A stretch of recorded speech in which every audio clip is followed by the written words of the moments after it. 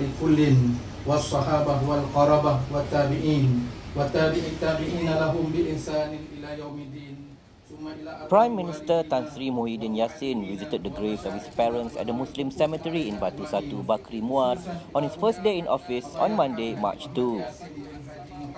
He arrived with his wife, Puan Sri Nur Aini Abdul Rahman, at about 12.20 pm. Upon reaching the cemetery, Muhyiddin proceeded to visit the final resting places of his late father, Muhammad Yassin Muhammad, and his late mother, Khadijah Kasim.